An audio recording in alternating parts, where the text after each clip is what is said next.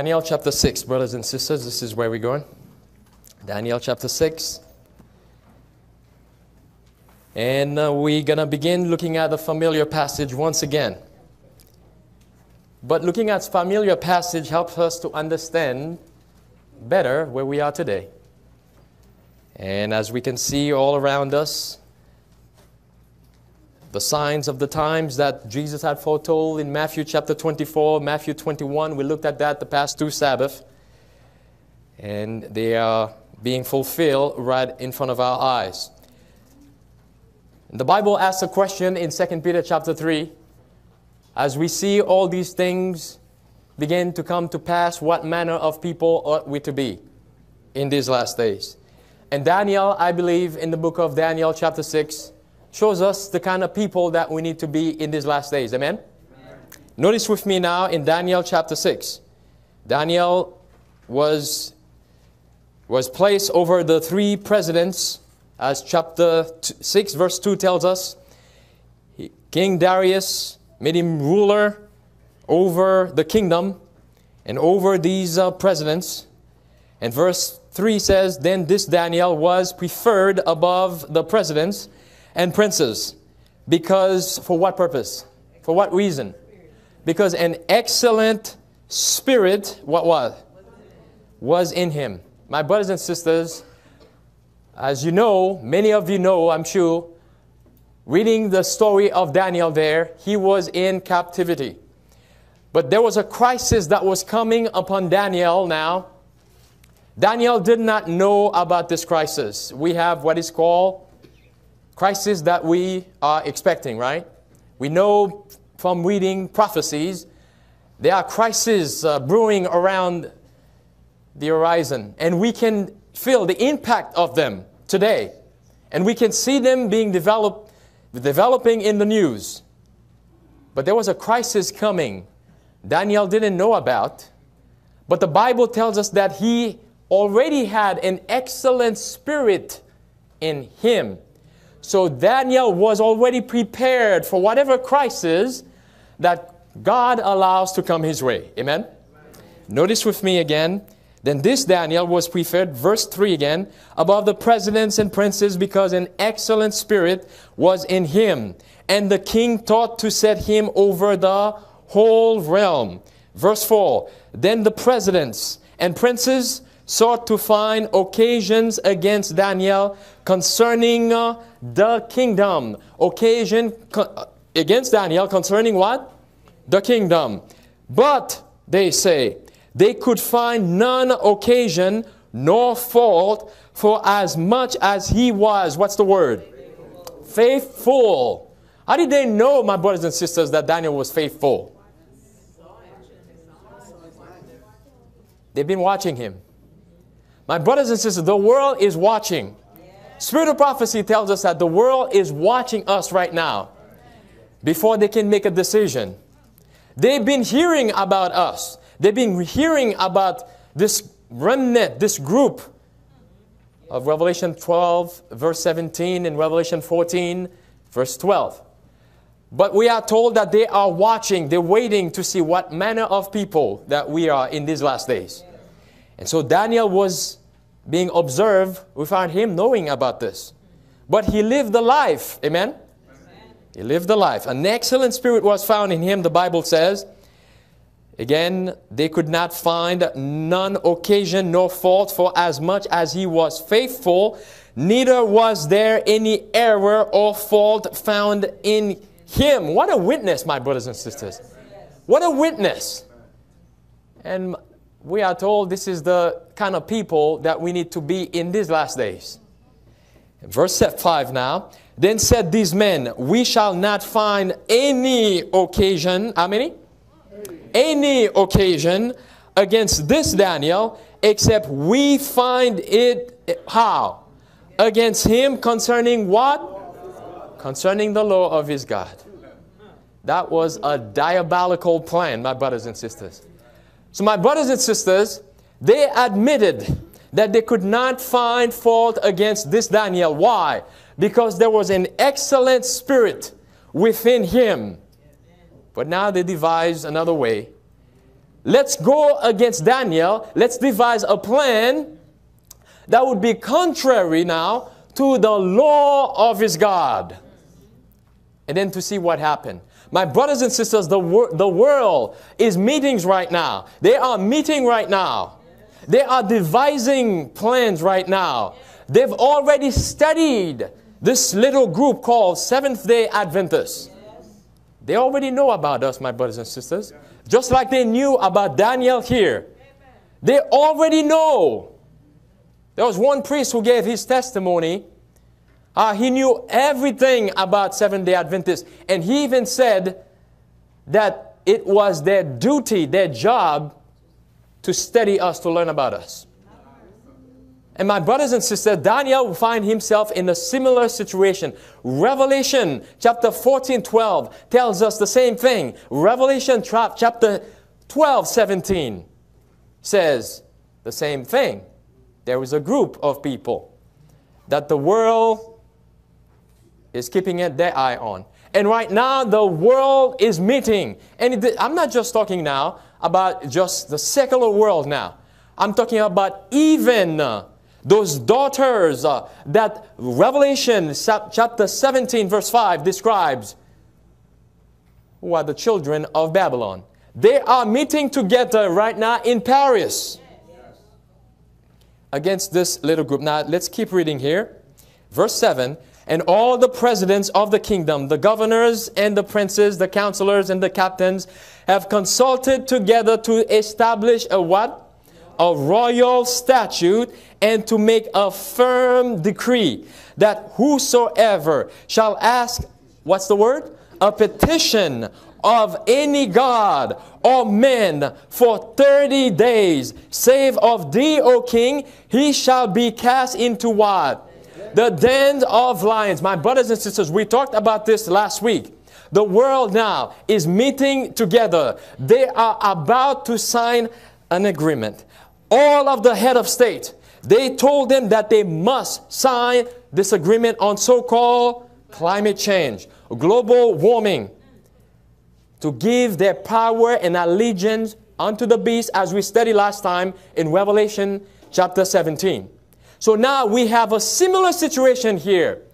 Now these folks came together and devised a plan that would go against the law of Daniel, the God of Daniel, and to cause him or to force him to compromise. My brothers and sisters, that's what we call fear. What does the Bible says about fear? About and love. Perfect love cast out all, all fear. So my brothers and sisters, they came up with this plan to go to the king that no one should worship, should petition no other God but King Darius for 30 days. And if someone were to get caught worshiping, praying to another God, they would be thrown in the lion's den. Now they went to the king. Verse 8 Now, O king, establish the decree and sign the writing that it may not change. What they're doing in Paris right now, my brothers and sisters, once they come up with an agreement, which today I believe they say that they will come up with an agreement. When, once they come up with the agreement, then it will be the law, not just the law of the land now, it will be a global law, a global decree. And we saw that the papacy within the encyclical Laudato Si on climate change says that the objection that it's Sunday law. And Sunday observance, is that contrary to the law of God? Yes, my brothers and sisters. That's what we are facing now, my brothers and sisters. And now, listen now. 2015 has been a year that my brothers and sisters, when 2016 comes, we're going to look back and remember all of what took place in 2015. 2015 has been setting up the stage for 2016. My brothers and sisters, once they come up with this agreement, which by the way, the very next thing or part of that agreement, it's a religious law, my brothers and sisters. This was a religious law they, they came up with here. This was a religious law.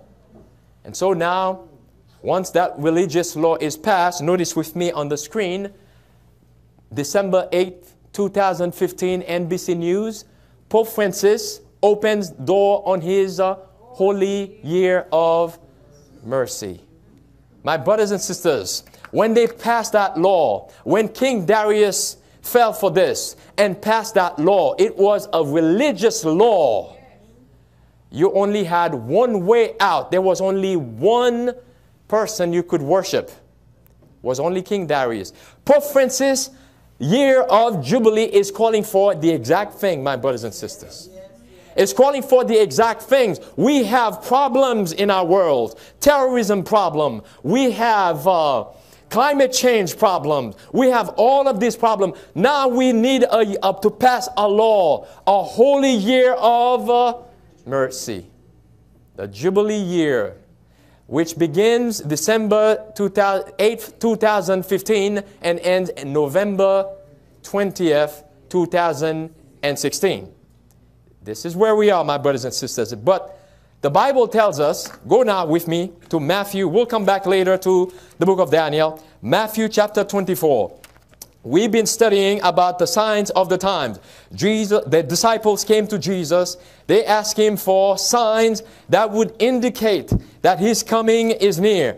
And some of the things that Jesus shared with them was the calamities that would take place that persecution that would come upon them. In verse 9 of Matthew 24, then shall they deliver you up to be afflicted and shall kill you, and he shall be hated of how many nations?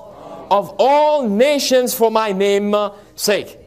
Notice with me now, verse 15 of the same chapter, Matthew 24 now, verse 15. When ye therefore shall see the abomination of desolation, spoken of by who?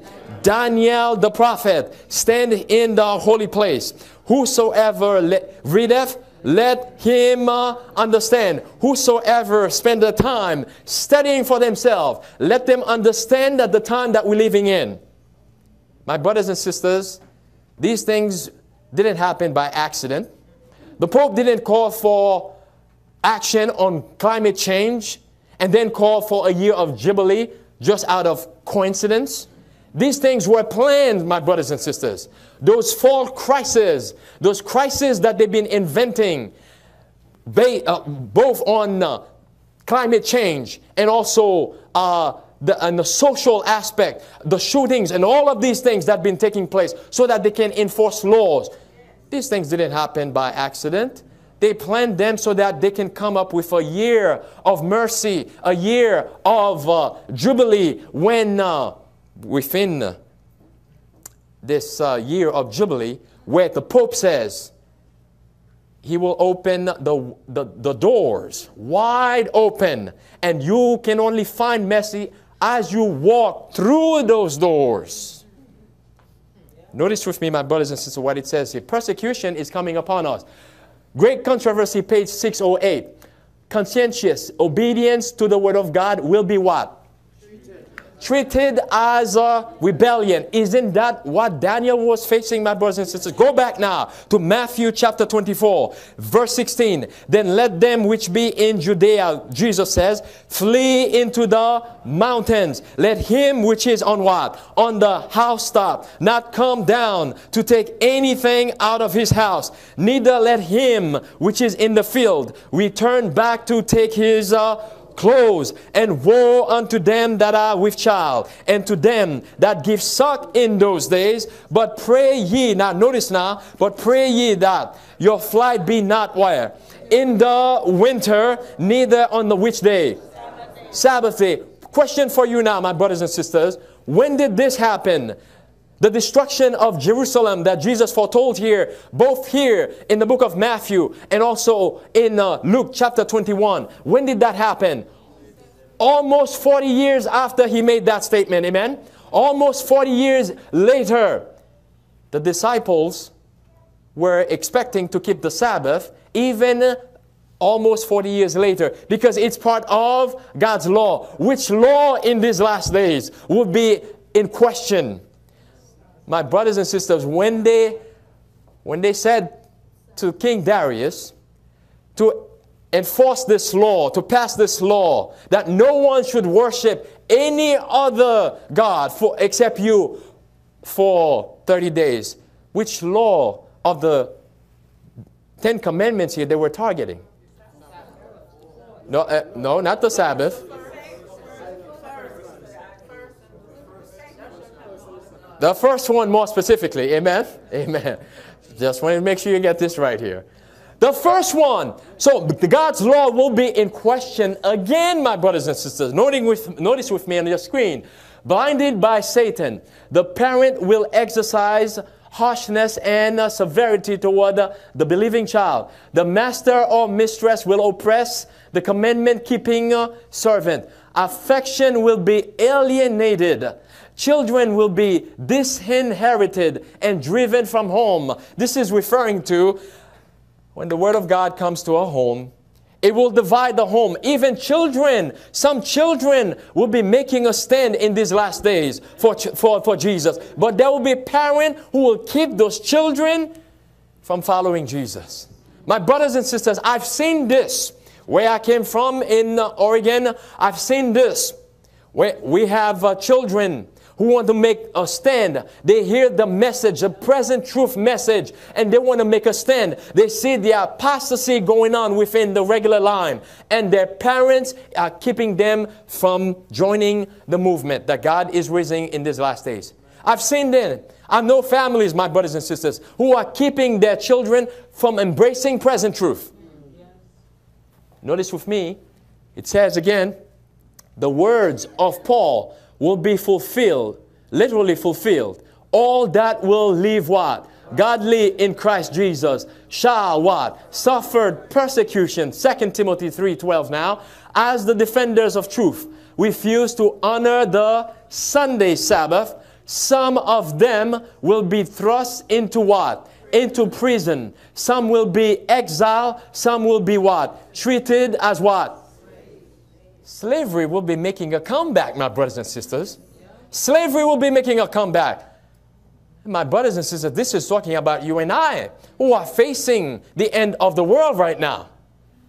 And it says, to human wisdom, all this, everything she just described here, all this now seems impossible. But as the restraining spirit of God shall be withdrawn from men, the heart can be what? Very cruel when God's fear and love uh, are removed. My brothers and sisters, we are living in a serious time when we are going to see the fulfillment of what we just read in the screen here. So the Pope called now for a year of Jubilee. Notice with me on your screen. It says chronic.com. Pope Francis opened doors to year of mercy. In what? In a time of what? In a time of fear, that December 11, 2015. So, my brothers and sisters, notice now the timing of that. They said, He opens the doors of mercy in a time of fear. So, do you think that these things happen by accident? In a time of fear, my brothers and sisters. So, we need now to rush now to go through the, those doors of mercy because we're living in a time of fear in a time of terror. Notice with me now, Revelation chapter 14, where we are going, my brothers and sisters. Revelation chapter 14. So the Pope says, we're living in a time of, of fear. So now, what a perfect opportunity now to open the doors of mercies for that so that we can find a safe refuge. Amen. Revelation chapter 14, looking at the three angels' messages, but more specifically, verses 6 and 7 there. It says, And I saw another angel fly where? In the midst of heaven, having the everlasting gospel to what? To preach unto them that dwell on the earth, and to every nation and kindred and tongue and people, saying, with a, what kind of voice? With a loud voice. What's the next word? Fear who? Fear God and give glory to Him, for the hour of His uh, judgment is uh, come, and worship Him, Him only that made heaven and earth and the sea and the fountains of waters. My brothers and sisters, the law that these folks came up with to enact, to cause King Darius to pass to put fear upon Daniel so that Daniel can forsake his God and worship King Darius instead of the living God. Similarly, Revelation chapter 14, verse 7 says, the call is to worship the true God, fear the true God, and worship Him. Judgment is coming. And the Bible tells us in uh, Ecclesiastes chapter 12, verse 13. Who remember what it says here? Fear God and keep His uh, commandments, for this is what? The whole duty of man. But what is man saying? What is the Pope saying now? Because we have a fear crisis in our world today. Come through the holy door and worship me. And they're using this fear tactics upon us. Notice what this article says here. You want to be free and dead? U.S. candidates waive freedom versus what? Security over Muslims. RT.com, November 20th, 2015. Billionaire entertainment mogul and major party donor Haim Saban, who donated a seven digit sum to Hillary Clinton's presidential campaign, telling news website The Wrap it is high time to reconsider. Notice now, it is high time to reconsider values and put life ahead of what? Ahead of what? Civil liberties. You want to be free and dead? I'd rather what? Be not free and what? Oh, let's sacrifice our freedom now because we're living in a time of fear. Radical Islam, terrorism, and so called fundamentalists are all over the place. So let's sacrifice our freedom now. Let's hand over our freedom now, our basic freedoms now, and hand it over to the government so that the government can keep us safe. Notice also this article. It says, France 24, November 22nd, 2015. Headline Are French civil liberties another victim of Paris attacks? In the wake of the terrorist attacks in Paris, France has enacted a three month state of what? Emergency, widening the powers of police and security agencies. It has done so, notice now, it has done so with what? Relatively little public debate about the what? Deterioration of what? Civil liberty. So there's so much fear there's so much chaos in the world. So we, we don't hear outcry anymore. As long as they're keeping us safe do whatever you want. That's the plan. That's the tactic in these last days. Goes on to say to say same article here. It says French lawmakers in both the National Assembly and Upper House Senate uh, last week wildly approved an escalation of security which will allow authorities now brother what use of what? House arrest electronic bracelets and warrantless what? Searches. Then it says the law, notice now it says the law, unjust laws, my brothers and sisters.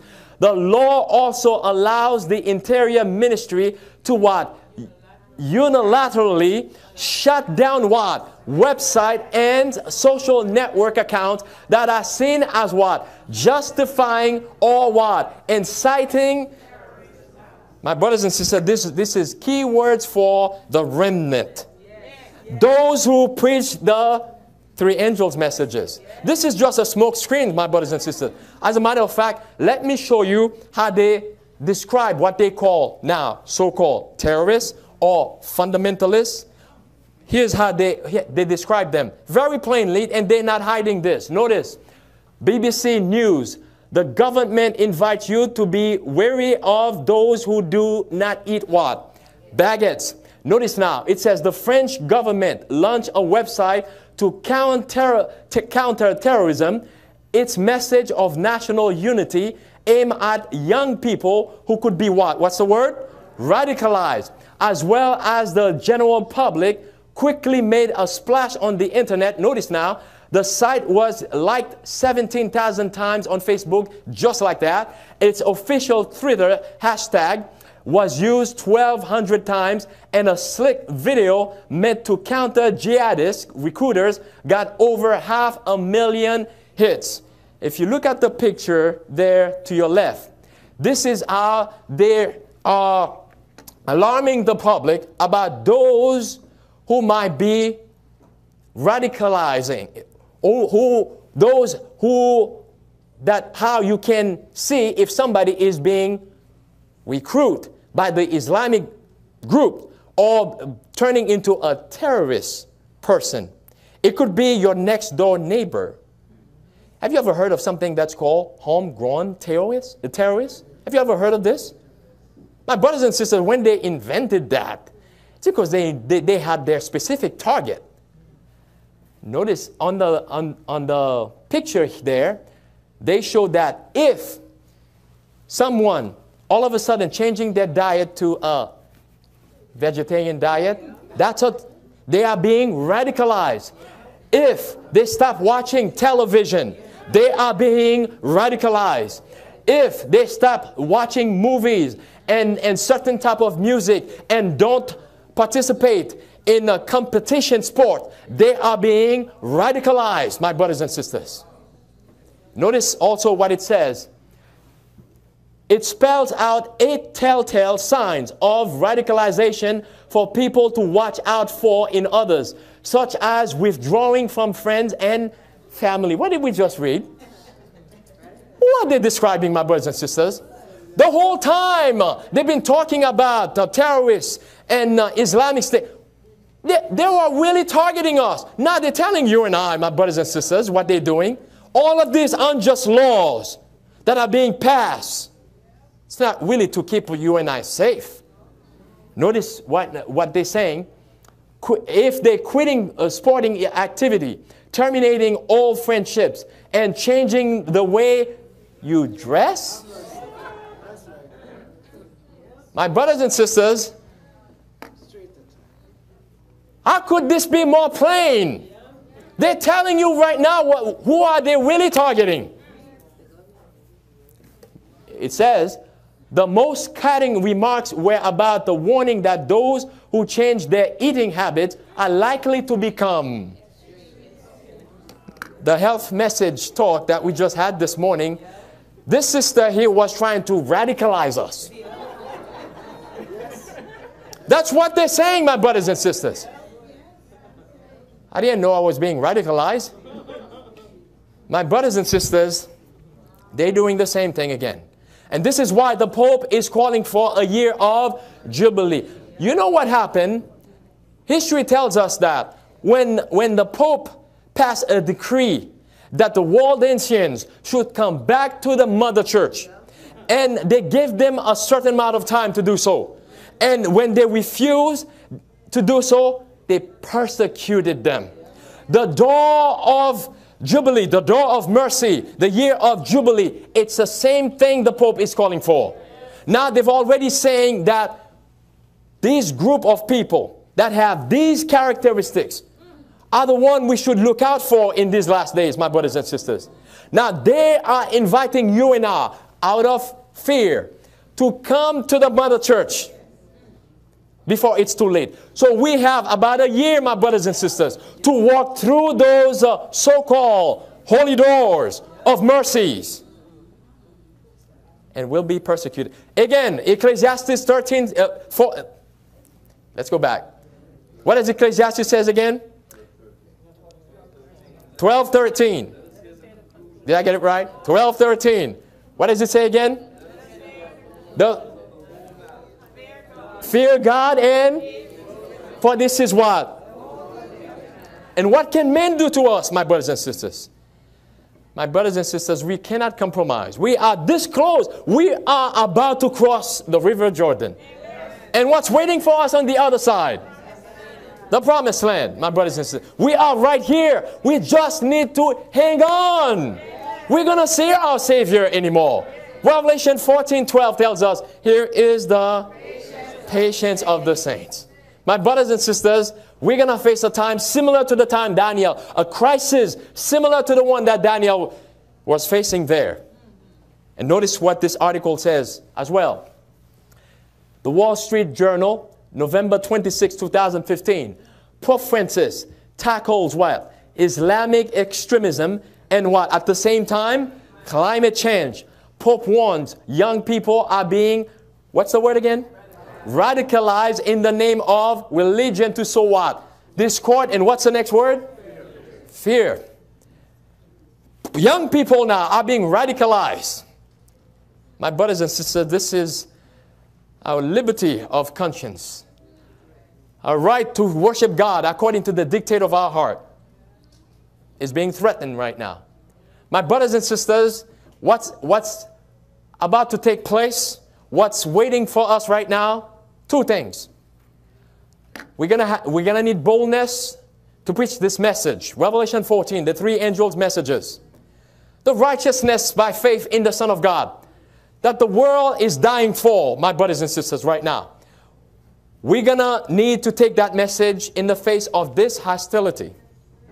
They're making it illegal for us, as I've shared so many times, to preach that, that message. They're saying that we are, when we present these messages, the health message along with the gospel message, we are radicalizing people now.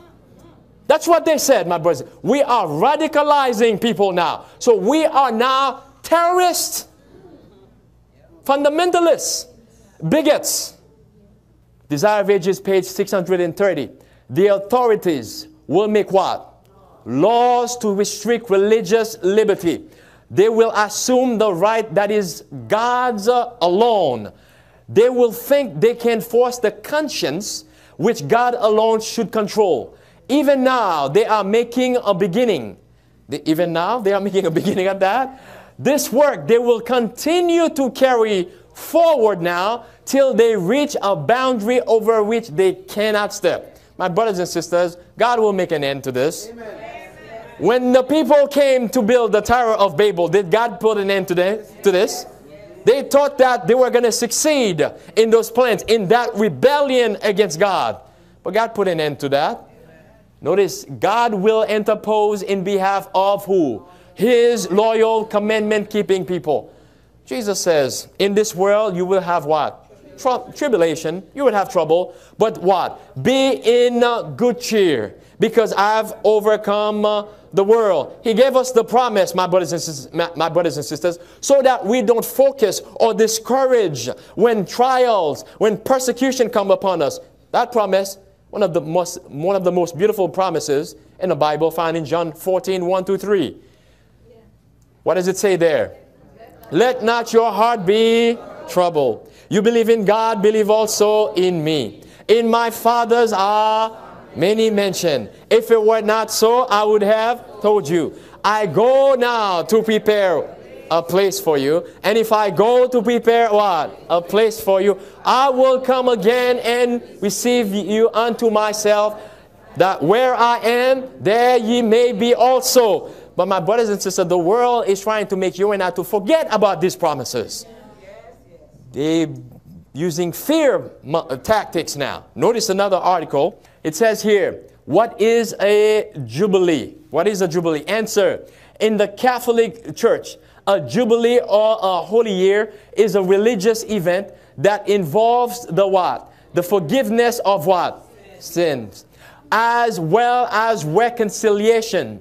The idea of jubilee dates back to the Bible and it says here, quoting from Leviticus 25:10, it says, And you shall sanctify the 50th year. Notice it says the 50th year, and proclaim freedom throughout the land for all who live on it. But, notice now, but a pope now can proclaim an extraordinary year of Jubilee when he what? Deems are necessary when he wants to. My brothers and sisters, let's go now. Let's to the book of Leviticus. Leviticus chapter 23. Which book we going to? We go into Leviticus chapter 23. That is blasphemy, my brothers and sisters.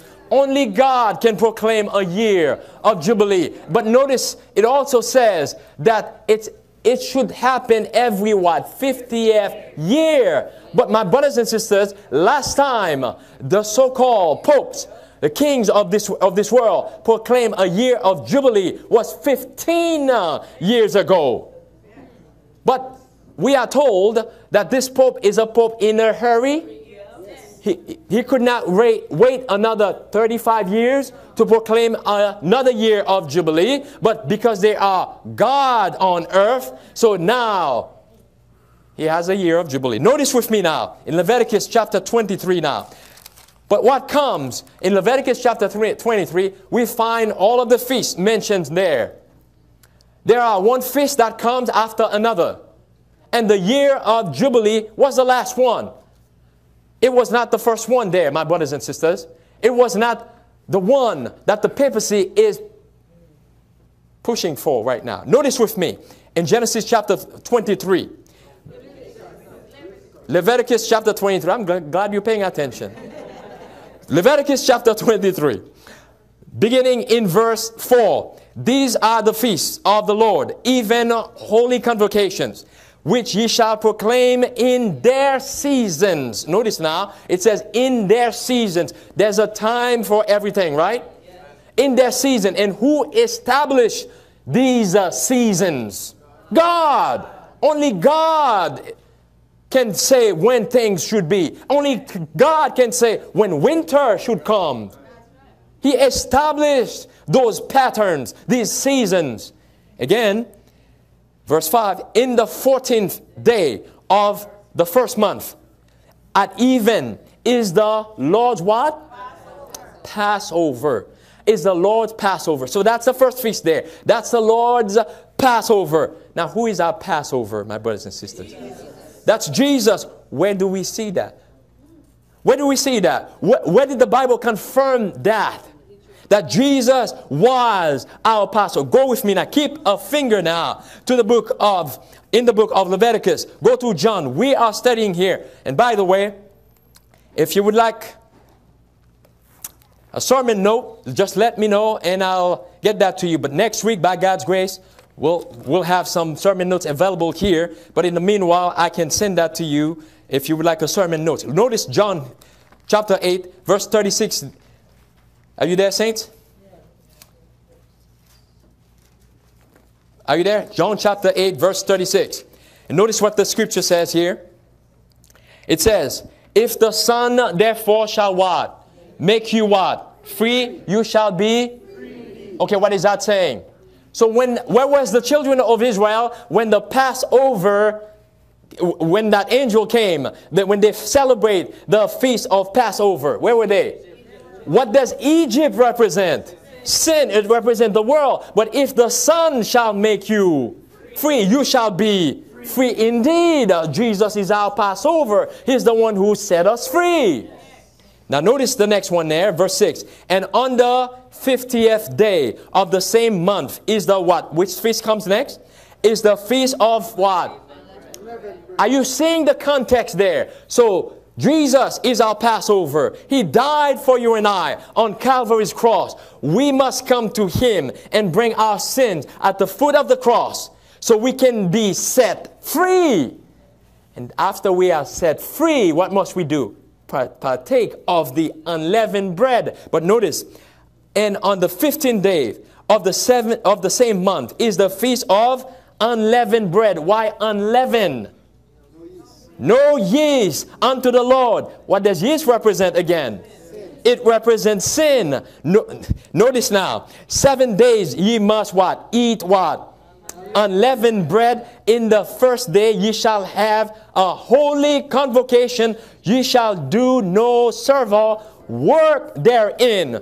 Go with me now to First Corinthians. We'll come back here. First Corinthians. Which book we're going now? First, First Corinthians chapter 5, verse 7. My brothers and sisters, we need to be grounded in the Word. Time is drawing to, it, to a close. Jesus is coming soon. We need to know what it does saith the Lord. Many are being deceived right now because of this year of Jubilee. They don't know these things. They don't know what's happening. Jesus is our Passover. Jesus is the one who paid the price for you and I. Jesus is the one who's in heaven right now, making intercession for you and I. Jesus is our Jubilee, not the Pope. Notice with me in 1 Corinthians chapter 5, verse, verse 7 now. And the scripture says, Purge what? Out therefore what? The old leaven, that ye be a new lump, as ye are what? Unleavened, for even what? Notice, Christ our what? Passover is what? Sacrifice for us. Now notice now, Leviticus chapter 23 verses 5 and 6, which describe the Passover feast and also the feast of unleavened bread. Paul now addressed this in that one verse there in 1 Corinthians chapter 5 verse 7. So when we accept Jesus as our Passover lamb, we must, we must what? Purge ourselves of what? Of all sin, which is uh, the yeast there. Eat unleavened bread. Notice the next feast now, back now to Leviticus 23, verse 10. Leviticus 23, verse 10 now. Speak unto the children of Israel and say unto them, When ye be come into the what? Unto what? Unto the land which I give unto you, and shall reap the harvest thereof, then ye shall what? Bring a sheaf of the what? First uh, fruits of your harvest unto the priest. Now, who was our first fruit, my brothers and sisters? Go back now to 1 Corinthians chapter 15, verse 20. Let's look at the chronological order there of the feast and how Jesus fulfilled these things in your behalf and in my behalf and how we can overcome.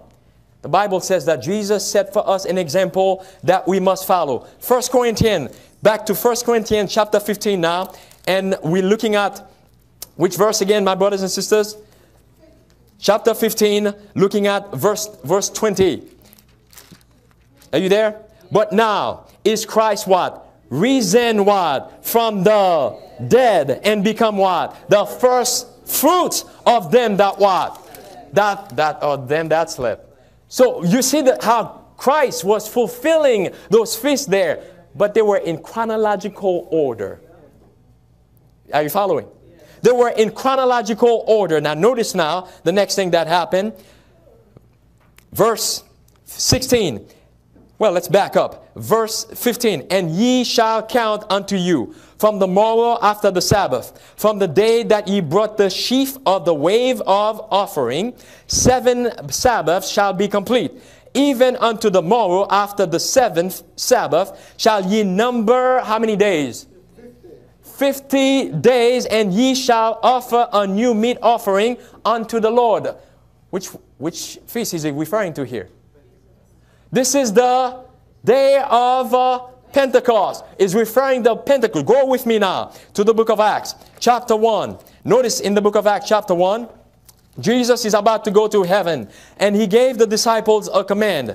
In Acts chapter 1 now, beginning in verse Let's see there in verse 6.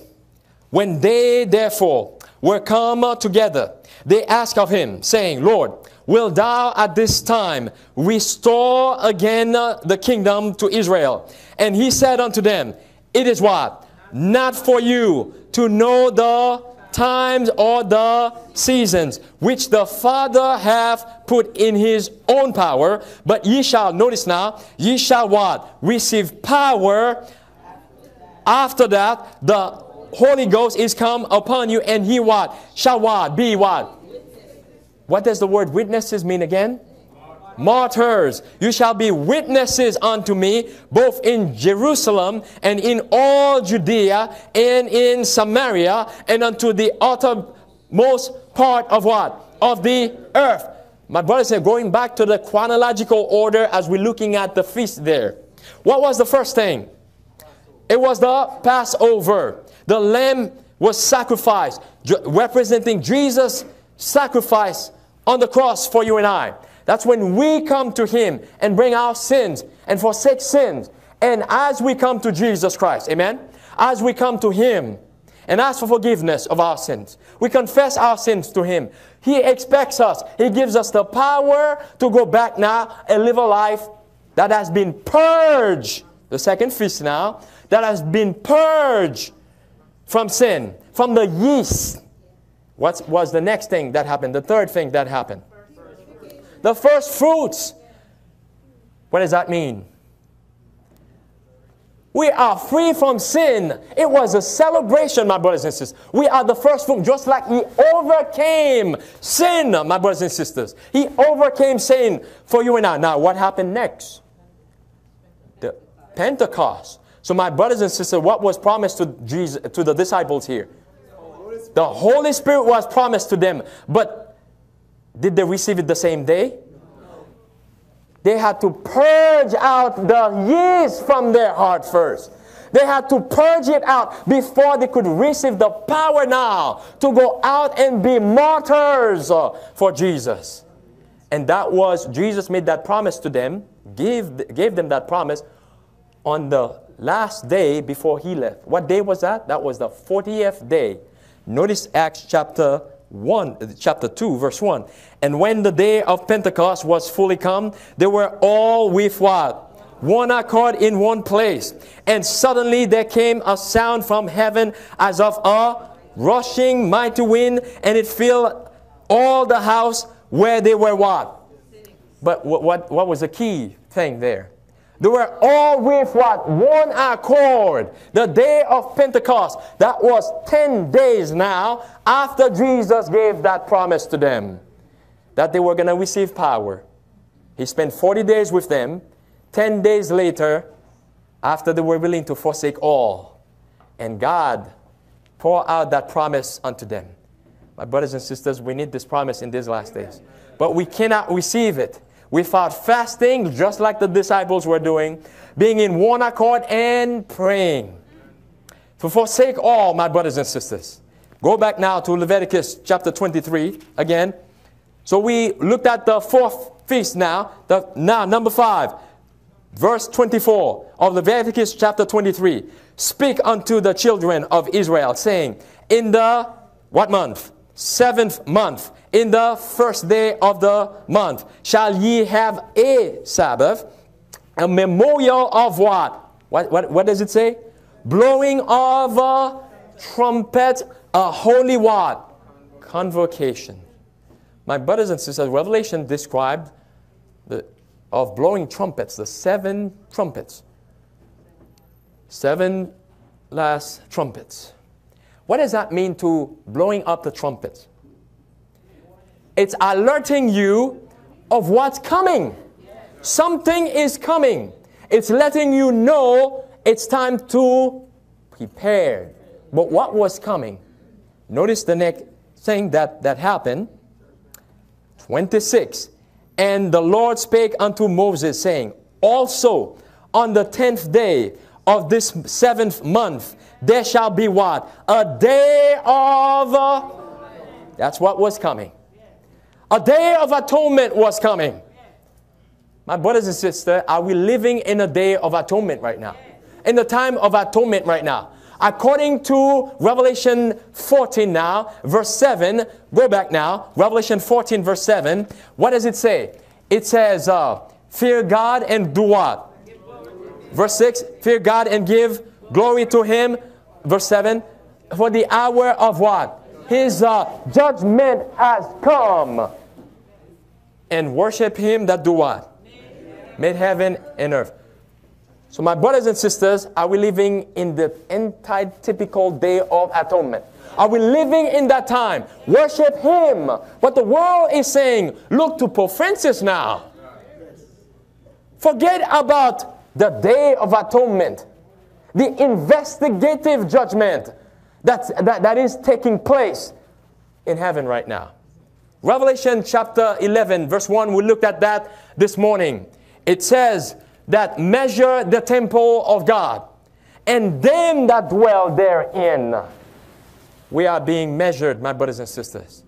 But the, the world, the papacy wants you to forget about what's taking place right now. Don't look up, like Jesus says, when you see all these things begin to come to pass. Then look up. But the Pope is telling us to look down here. I have a year of Jubilee.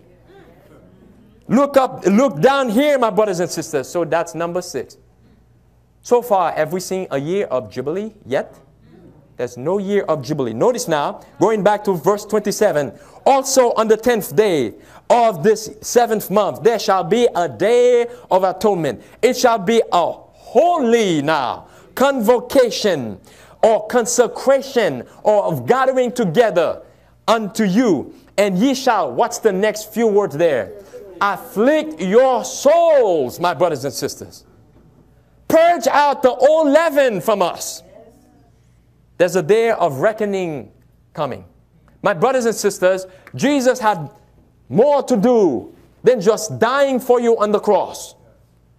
The Bible tells us, Paul says that. If Christ had not raised from the dead, our faith would have been what? In vain. Why? Notice with me on the screen. Because over here, the altar of sacrifice here represent the cross. Amen? It represents the cross. That's where Jesus died. But notice now, there are two more stages in the plan of salvation. There are two more stages. Six steps, two stages. And the next stage is the holy place. Amen? Are you with me? The next st uh, stage is the holy place. Justification in the outer court. Sanctification in the holy place. Glorification now, the last stage now. In the most holy place, the day of atonement, afflict your soul, my brothers and sisters. Revelation chapter 10 tells us there was a great disappointment that took place in 1844. And, I, and they were told that they needed to go back and preach the message of the soon returned Savior. But they were also, as we just quoted from chapter 11, verse 1, that the answer, the clue, was found in the holy place, in the sanctuary. That explains the disappointment. This group, this movement that you and I are part of right now. And if you are a visitor here, a guest here, you are not a Seventh day Adventist, we welcome you here. God has raised a movement. It's a movement that He has entrusted a message, an end time message to. A people that will keep the commandments of God and the faith or the righteousness of Jesus Christ. The whole Ten Commandments, including the Sabbath, that the majority of the world have forsaken. Just like Daniel was facing an unjust law that would cause him, bring fear upon his soul, to go against the commandments of God. And that's exactly what we see taking place. Jesus, my brothers and sisters, have entered the most holy place. October 22nd, 1844. Making what? Intercession, which is which is what? A type, which was the Day of Atonement, was a type of what Christ is doing for you and I now. But what happened after that? Notice back now.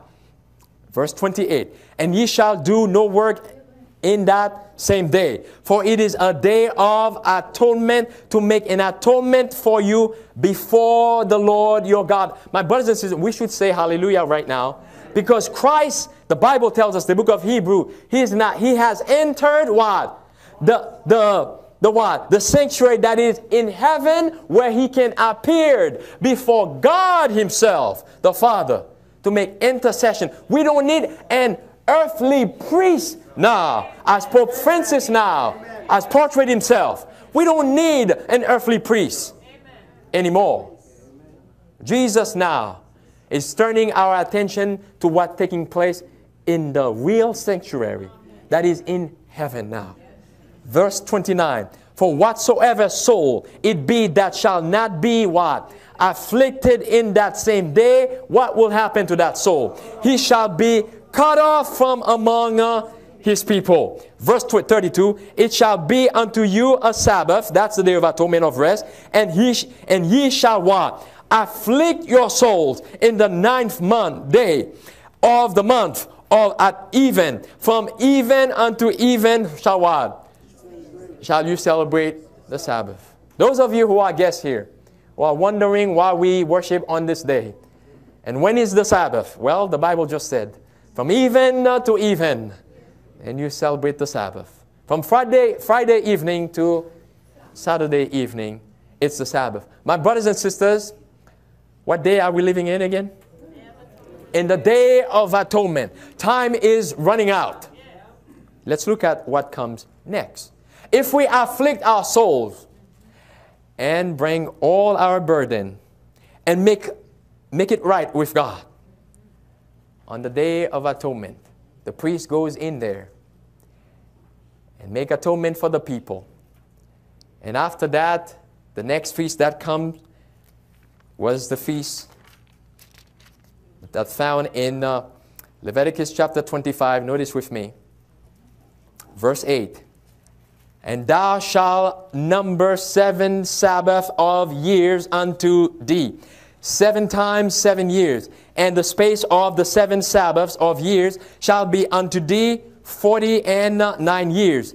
Then shall thou cause the what? The trumpet of uh, Jubilee. Notice now, to sound on the tenth day of the seventh month, in the day of atonement, shall ye make the trumpet sound throughout all your land. And then it says, and ye shall hallow the fiftieth, how many? Fiftieth year, and proclaim liberty through all what? the land. But in order to proclaim liberty, we must gain the victory over sin first, over the yeast first. Notice, continuing the verse there. And proclaim liberty throughout all the land, and unto all the inhabitants thereof. It shall be a jubilee unto you, and he shall return every man unto his possession, and he shall return every man unto his uh, family. A jubilee shall that fiftieth year be unto you. Ye shall not sow, neither reap, nor that which groweth of itself in it, nor gather gather the grapes uh, in it of thine vine undressed, for it is the jubilee. It shall be uh, holy unto you. Ye shall eat the increase thereof out of the field. Here's what the Bible is saying here. Remember, this was a type the Bible tells us here that you on this on that Pacific year of Jubilee, you shall do what? You shall not sow, neither what? Reap that which groweth of itself in it. My brothers and sisters, they were the, the children of Israel were told that they should give the land a rest for a whole year. Six years they they what? They worked the land and, and let the land rest for a year. When does the year of Jubilee begin? The year of Jubilee that you and I are expecting. When Christ comes, when Christ comes, the year of Jubilee begins. We cannot have a year of Jubilee right now. Because Christ is still making intercession for you and I in the most holy place. So we cannot, we must overcome sin first. Then uh, when he comes, Second Thessalonians chapter 4, verse 16 and 17 tells us, and the Lord himself shall descend from heaven what? With a shout, with the voice of the archangel. And what will happen? and the dead in Christ shall rise first. Then it says, then we who are alive and remain shall be caught up. Hence the day, the year of Jubilee begins and we will be with him up there for a thousand years. Notice with me now, Revelation chapter 20 now. Go to Revelation chapter 20. Are you with me, saints? We're going to Revelation chapter 20 and looking at verse 6, the year of a Jubilee now. We cannot have a year of Jubilee because we must overcome sin. The work that Christ is doing for you and I in the most holy place is not done yet. But it's coming to a close, my brothers and sisters. Notice Revelation chapter 20, verse 6. This is uh, parallel with Second Thessalonians chapter 4, verses 16 and 17. Blessed and holy is he that hath what? Part in the first resurrection. On such the second death have uh, what? No power, but they shall be what? Priests of God and of Christ, and shall reign uh, with him what? A thousand uh, years. That's the year of Jubilee. That's when we're going to celebrate.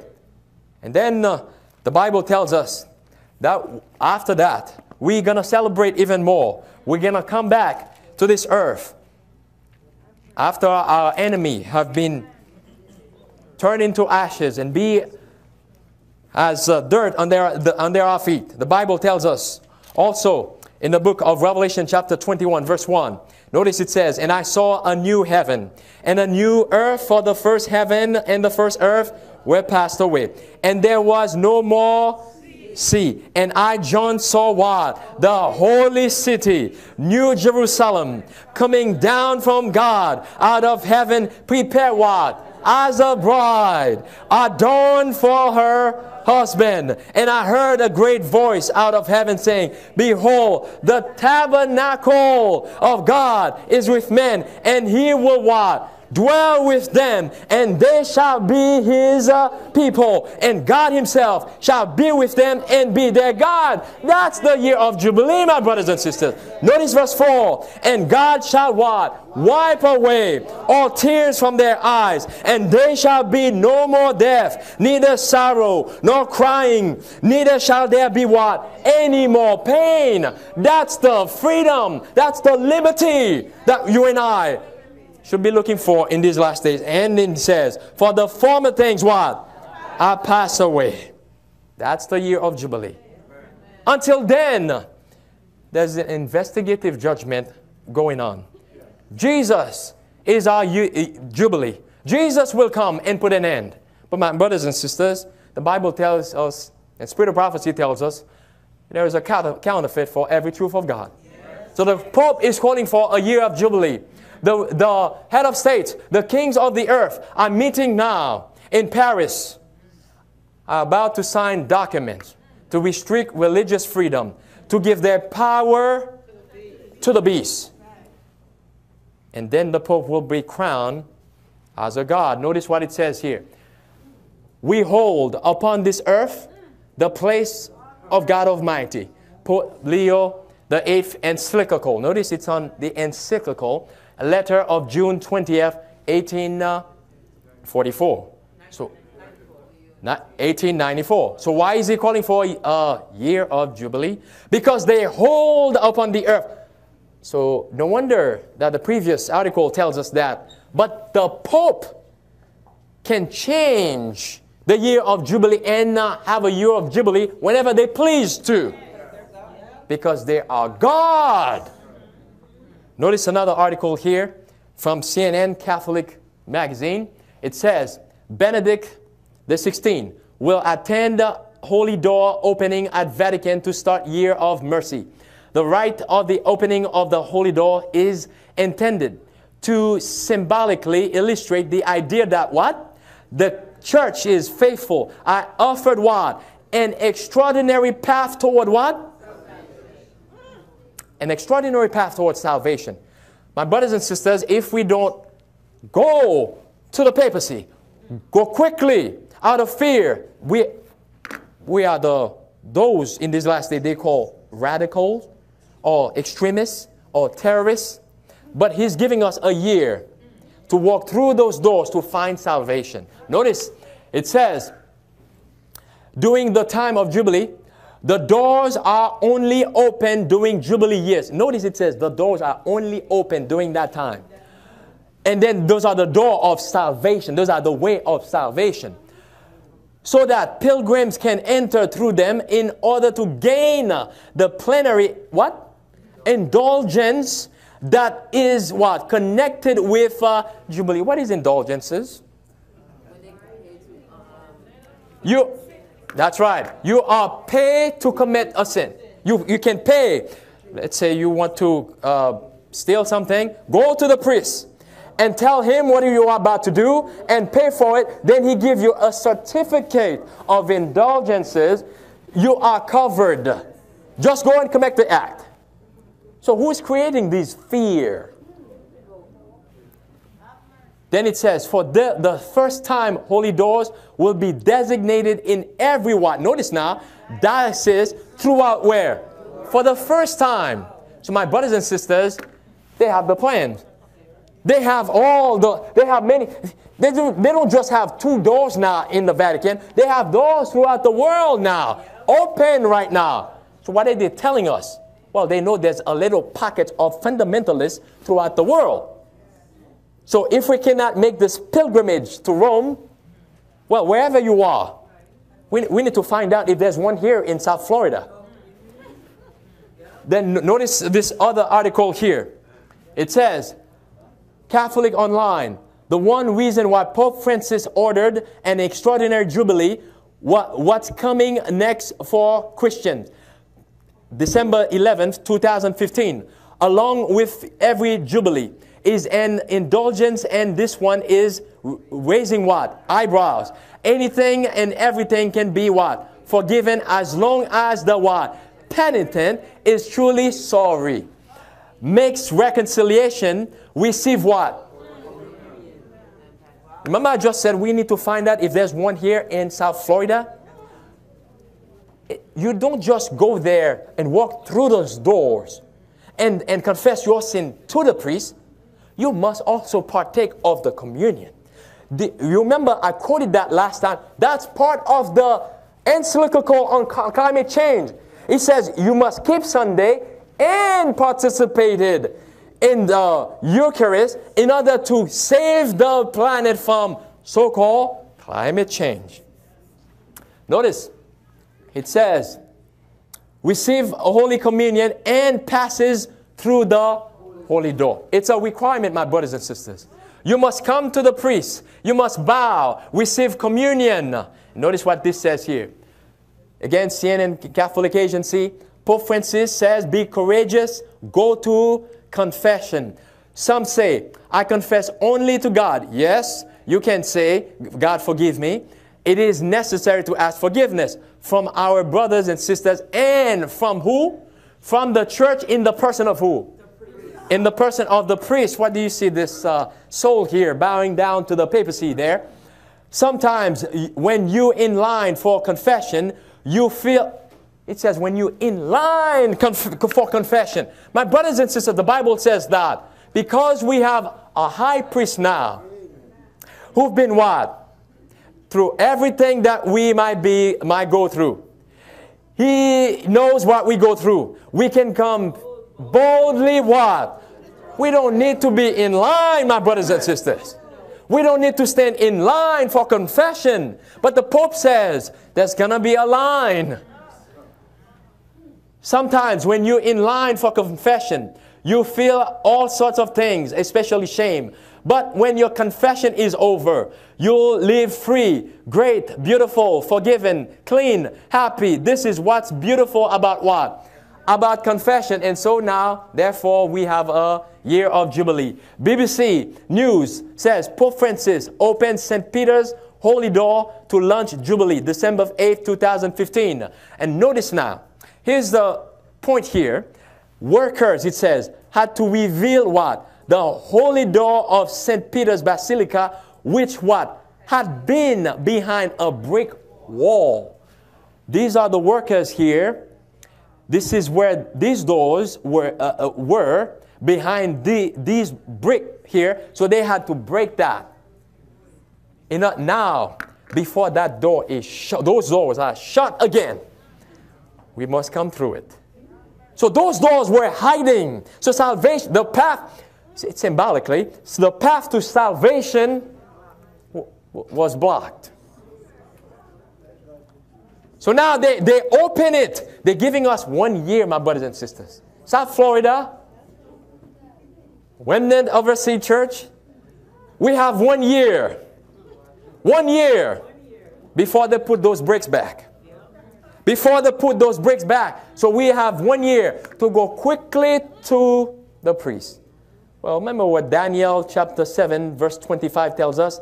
It would speak what? Great blasphemous words against God. Notice, it says the supreme teacher in the church is the who? The Roman pontiff, union of minds, therefore requires complete what? Submission and obedience of will to the church and to the Roman pontiff as to God what?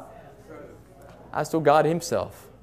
So those little extremists, those little jihadists, those little bigots, those little pockets of fundamentalists that, as the Pope says, that we have, is giving us one year. And notice what it says in uh, the World Post. Pope Francis says, fight ISIS. Remember, code word here, smoke screen. Pope Francis fights ISIS by fostering inter what? Religious dialogue. Do you understand what that means?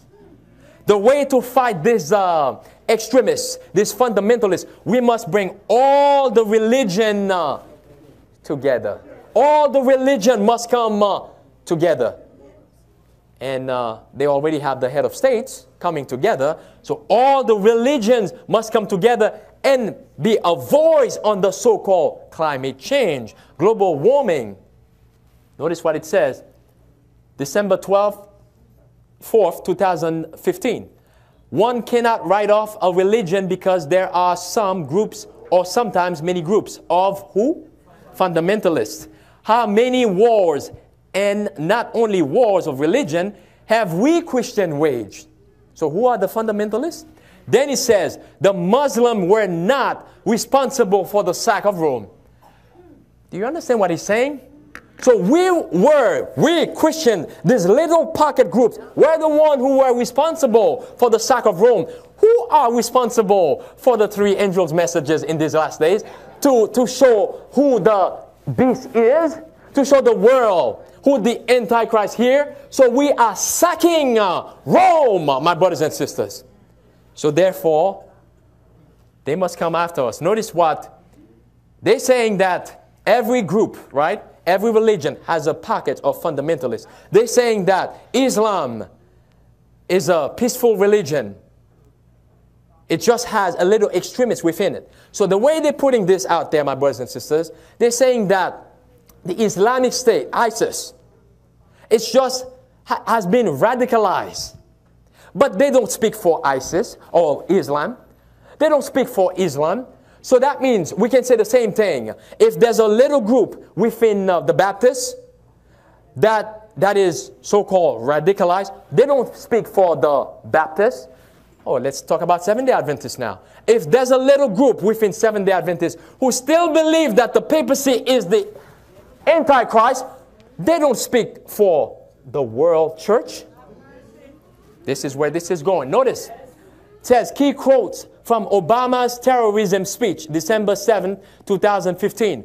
President Barack Obama sought on Sunday to calm a nation put on edge, put on edge by fear, by the California shootings in a rare address to the nation on the threat posed by the Islamic State group.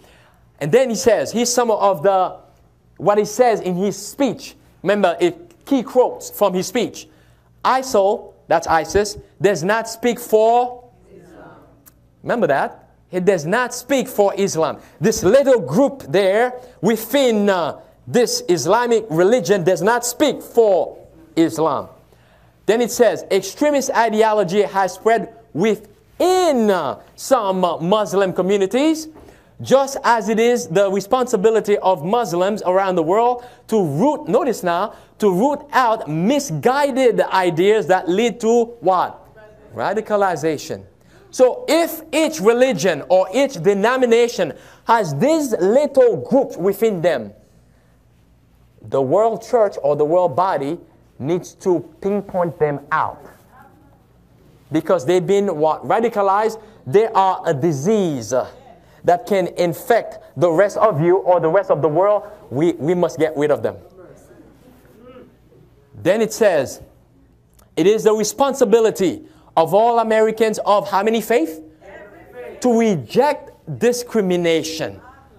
You see where this is going? And now, what they're doing, my brothers and sisters, they've, they're dividing us into two classes now.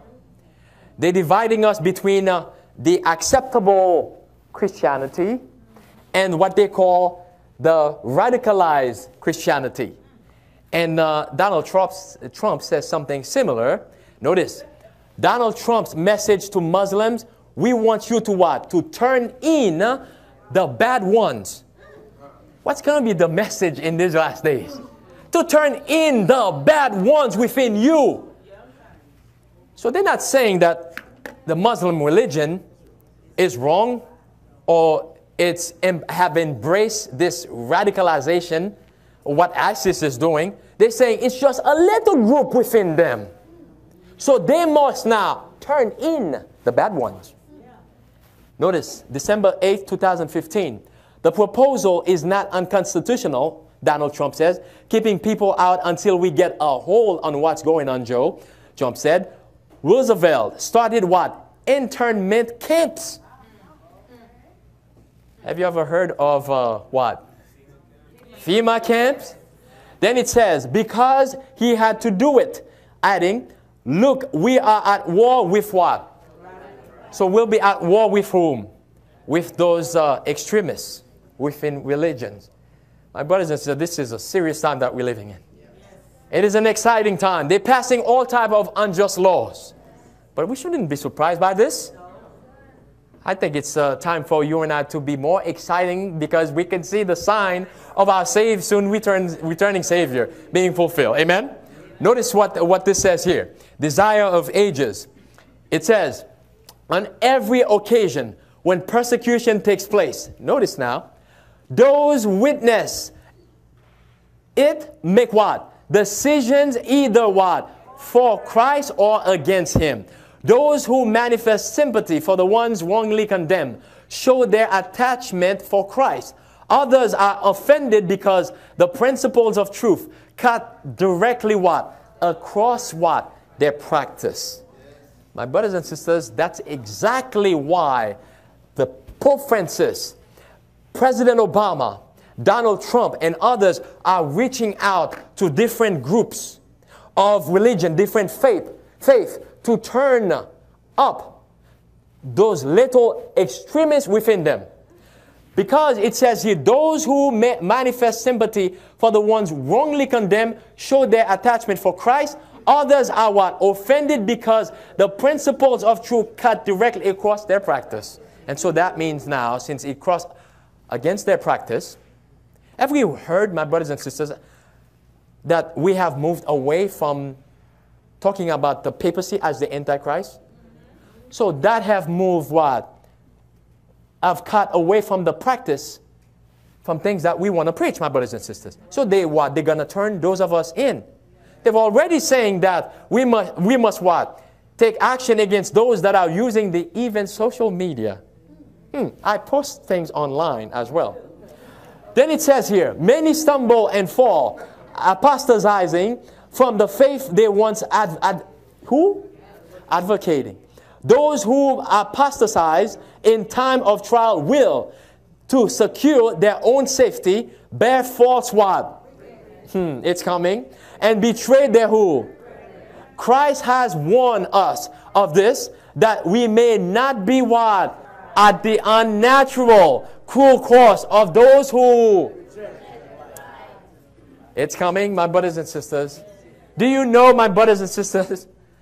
Again, the whole push for this is to enforce Sunday. But this says here, in Signs of the Times, January 17, 1844, men were in responsible positions. Who are these men? The conference, the Seventh day Adventists.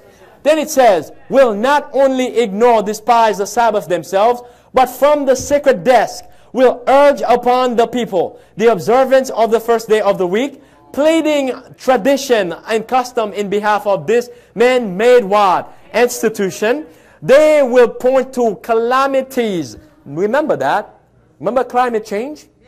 They will point to calamities on land and sea, to the storms of wind, the floods, uh, the earthquakes, the destruction by fire, as a judgment indicating God's what? Displeasure because Sunday is not sacredly observed. And what does this article says? exactly what spirit of prophecy tells us. Do we have a true prophet, my brothers and sisters? Notice what this says here on the screen. It says, slow Sunday, the simple solution to what? Global warming, using Sunday as a day of rest and renewal would be what? Good for what? Our personal health as well as the health of the.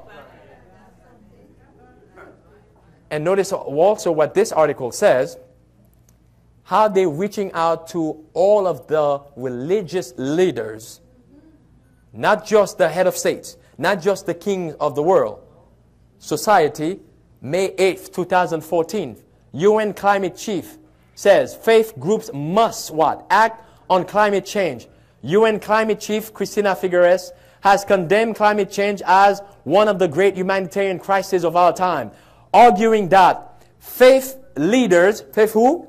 Faith leaders must take a stronger stance against it and encourage now, notice, encourage their followers to do what? To do the same. So they're reaching out to all of uh, the religions, to all of the denominations, so that the, to the leaders, and also so that the, the leaders can encourage their congregation to take a stand. So you think they have reached out to the worldwide church as well? Yes. Notice what it says here Adventist News Network. Seventh day Adventists, we affirm commitment to preserving the environment. Then it says, what's the word? Go back to the previous, uh, previous slide. What does the previous slide say? It says they were reaching out to all faith leaders. Mu- they must take a stronger stance against it. And then, what's the word? Okay, what does this say? encourage all members to be what? Good stewards.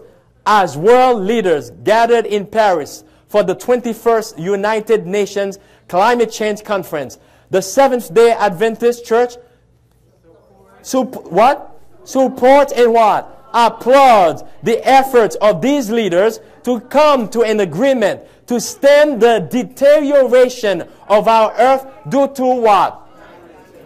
Is it clear that we are in apostasy, my brothers and sisters? It couldn't be so more plain, my brothers and sisters. It is very, but it has been proven that this is a hoax. This whole, this scroll uh, about climate change, it's a hoax, my brothers and sisters.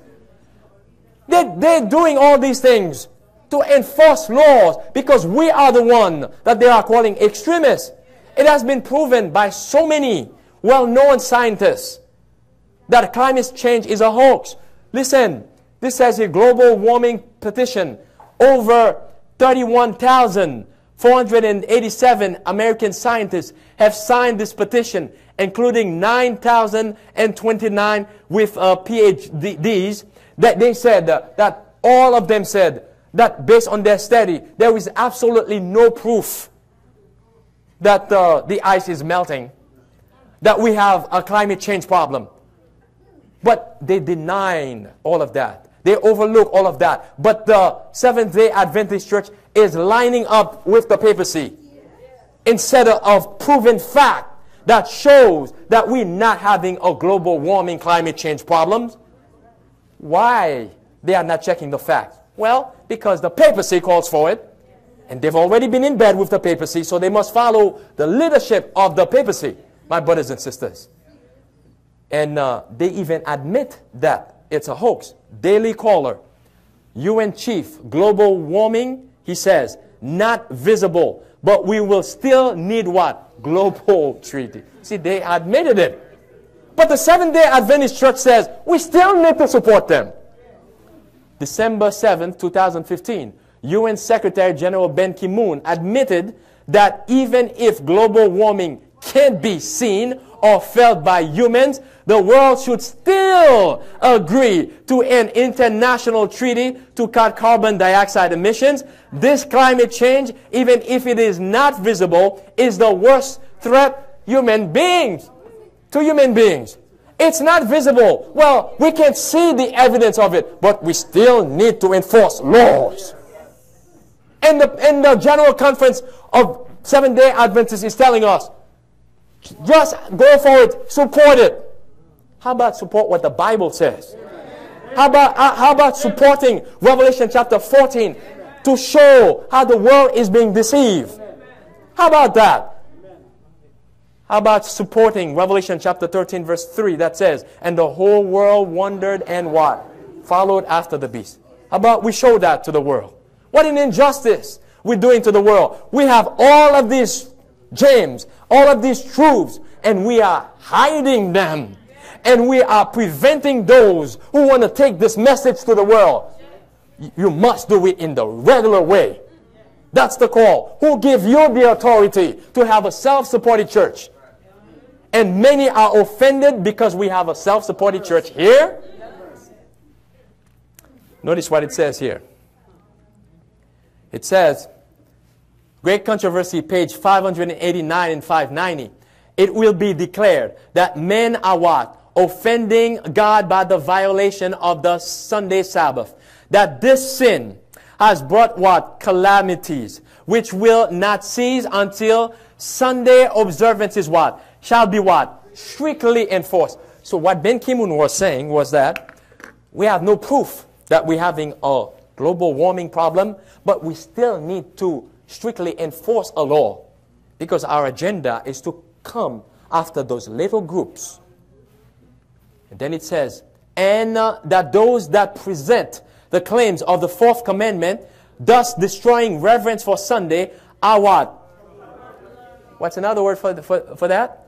Terrorists, are troublers of the people, preventing their restoration to divine favor and temporal prosperity. Well, we are not going along with the so-called year of Jubilee. We are the one now preventing the divine favor of God upon the people. Because these things will increase even more. Those calamities will get even worse and worse. So the Pope now has a year of Jubilee. He's calling us to come back to the mother church, to find a solution to end uh, global warming, to confess to the priest. Forget about God. My brothers and sisters, the Bible asks us the question. We're living in a serious time. 2 Peter chapter 3, verse 11. It says, let's, let's read that together. 2 Peter chapter 3. Which book we're going to, my brothers and sisters? We're going to the book of 2 Peter chapter 3 looking at verse 11. Seeing uh, then, are you there? Chapter, chapter 3 of 2 Peter, verse 11. Now here's the appeal. The Bible says here, Seeing then that all these things shall be what? What manner of uh, persons ought ye to be? You can put your name there, I can put my name there. What manner of person I'm supposed to be in these last days. What manner of person are ye to be in how? In all what? Holy conversation and uh, godliness. Then verse 12 now. Looking for and hasting unto the coming of the day of God, wherein the heaven being on fire shall be dissolved, and the elements shall melt with fervent heat. We haven't seen anything yet. But what manner of people are we to be in these last days? We are told that we should spend quality time study the closing scene of the life of Christ. Because what happened then will happen again to his followers. Notice what it says here. Desire of Ages, page 83. It would be well for us to spend a thoughtful hour each day in contemplation of the life of Christ. We should take it, notice now, we should take it how? Point by point. And then what? Let the imagination grasp each scene. Each scene of the life of, towards the end of his life here. And then let the imagination grasp it. Especially the closing ones. What happened in the closing ones? A crisis came, my brothers and sisters, to our Lord and Savior a crisis. He was about to face a crisis, my brothers and sisters. Turn with me now to John chapter 6. In John chapter 6, Jesus was teaching some plain truth of the Bible, came straight from the throne of God. But there were many who were offended by what he was saying. They were offended, they did not want to hear it. There was a crisis coming, and Jesus was trying to prepare not only them, but also their disciples. And the Bible says in John chapter 6, verse 66, notice 6, 6, 6. then it says here, from that time, many of his disciples what? Went back, w- went back what? And walked, no. Think for me, is, that, is it a coincidence that it's John chapter 6, verse 6, 6, verse 66, 666? Notice what it says. It says, from that time, and many of what? Many of his uh, disciples went. Isn't that what we're told will, will happen? Then it says, and those who, who, uh, who do that in the last days, what will happen? They will receive the mark of the beast, 666. Then it says, Then said Jesus unto the twelve now. Then says Jesus unto the remnant now. Then says Jesus unto us now and ask the question, Will ye also go away? There's a crisis coming, my brothers and sisters. And, and Jesus is telling us, It's coming. What are you going to do about it?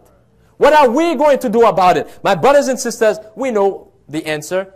Peter gave the answer that you are the Christ. We're not going to go anywhere. You are the Christ. You have the word of the life. We're not going to go in. We're going to stick with you. But my brothers and sisters, Peter didn't stand fast. When the crisis came to Peter, what did Peter do? What did Peter do, my brothers and sisters? He denied his Lord. When the crisis came, the disciples were not watching and what? Praying. Turn with me to Luke now. Luke chapter 22. Which book we're going to? Luke chapter 22, my brothers and sisters. There's a crisis coming. And there was a crisis coming to Daniel. And the Bible says he had an excellent spirit in him. And when that crisis came, the Bible tells us that Daniel was uh, praying. And Jesus was praying here in the garden, garden of Gethsemane. And the crisis came to them in Luke chapter 22, beginning, eh, beginning in verse 43. And there appeared unto him from uh, heaven, strengthening him. Notice now, and being how? In agony. What's the next word? He prayed more earnestly. You remember that Jesus prayed that prayer how many times? Three times. He prayed that prayer three times, my brothers and sisters. He was in agony. He needed some human companion. He was facing a crisis. And uh, he needed someone to stand by him and pray with him as he was in agony praying for himself. My brothers and sisters, Jesus' prayer was not just really for himself there. This was for you and I. Because he didn't have to go through this. And notice verse 44 again, and being in agony, he prayed more earnestly. But verse 43 tells us that as he was praying, he could not find a human companion. What did God do? God sent an angel to strengthen him. My brothers and sisters, we are, have entered a time when we need to spend time on our knees until God would send an angel to strengthen us. Cornelius was praying. He prayed and prayed in the book of Acts. He prayed until God sent an angel. My brothers and sisters, we need to have the same attitude in these last days. Jesus spent time on his knee in agony, fasting and praying. Cornelius spent time on his knee, fasting and Daniel spent time in the lion's den, fasting and and then what happened on those three occasions? God sent an angel.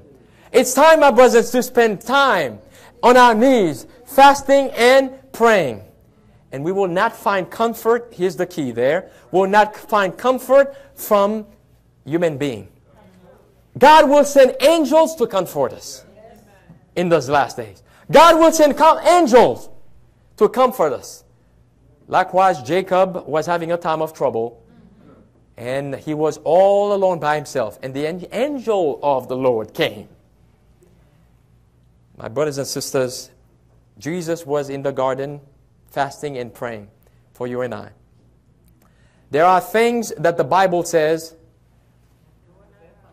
will never come out without those two things fasting and praying. Remember that? Matthew chapter 17, verses 19 and 23. Notice with me now as we come to a close here. Matthew chapter 19, what does the Bible say? Matthew chapter 19, uh, 17, verses 19 through 23. The, the disciples came to Jesus. After he had sent them out, they did some healing, but there was someone that they could not heal. In verse uh, 19, then came the disciples. Matthew chapter 17, verse 19. Then came the disciples to Jesus apart and said, Why could not we cast him out? And Jesus said unto them, Because of your what? Unbelief. For verily I say unto you, if ye have what? Faith as a grain of mustard seed, Ye shall say unto this mountain, Remove hence to yonder place, and it shall remove, and nothing shall be what? Impossible unto you. Howbeit though, this kind goeth not about by, but by what? Prayer and fasting. What's the point here in light of what we're studying here? My brothers and sisters, what we must overcome in these last days, we can only overcome it by fasting and praying. Jesus spent a whole day without food. Daniel spent a whole night and day in the lion's den without food, fasting and praying. In these last days, my brothers and sisters, we can only overcome the, the yeast that, that is in the world right now, that is in us, by fasting and praying. As we close, notice what, notice what it says here on the screen. In uh, Signs of the Time, June 3rd, 1897, three times the prayer ascended to God, the prayer of Christ, always followed by what? But by the words, what? Not my will, but thine uh, be done. Shall the cup pass from the suffering one? She asking some questions now. Shall the sacrifice of Christ, ordained before the foundation of the world and symbolized in every sacrifice offered since Adam's transgression be given up? Do you understand what this is saying? Jesus was in agony. We are told that he could not see beyond the portal of the tomb. So what did he do? He spent the night fasting and praying so that he will not fall into the temptation and leave you and I in our mess. Then it says here, Shall the glorious purpose of God the Father and Jesus Christ, his Son, entered upon to save a perishing world to be of no account? Shall that which angels eagerly desire to look into and understand, that which had been the burden of prophecy, that which lay at the foundation of times and shadows, fell, types and shadows, fell after all, leaving Satan and his apostate forces and what? Confederacy of evil to come of triumph? So these questions are there for you and I to ponder that if the Son of, of God in the Garden of uh, Gethsemane, if he had fell there, if he didn't spend time by fasting and praying to face the crisis that he was about to experience, he was not going to make it. And we would have never made it, my brothers and sisters. But thank God, He did it. He, he did it, right? By the grace of God. Not my will, but thy will be done. We are facing a crisis, my brothers and sisters. The mark of the beast is about to be enforced. So, what should we do in these last days? Fast and pray. My brothers and sisters, I appeal to you today to recommit your life to Jesus Christ, myself included. We're going to be having some baptism here on the first week of first Sabbath of January. Is there anyone here who have never been baptized before? Who would like to surrender their lives to Jesus Christ? who Would like to study? Who would like to learn about the sweet Jesus that you and I come to know? Many of us here come to know. Anybody here would like to surrender their life to Jesus today? like to be baptized. I see a young man there. Praise the Lord. Anybody else? Like to study for yourself and accept Jesus as your personal Savior. See one hand. Anybody else? Anybody else? Anybody else? How about rebaptism? We'll be having some rebaptism as well. The first week of January, first Sabbath of January. Anybody here would like to recommit your lives to Jesus Christ through rebaptism? Anybody would like to do that? We've already have some candidates. Is there anybody else who would like to do that? Rebaptism? Okay. My brothers and sisters, we are here. We have a short time to finish this work. Let us fast and pray. Let's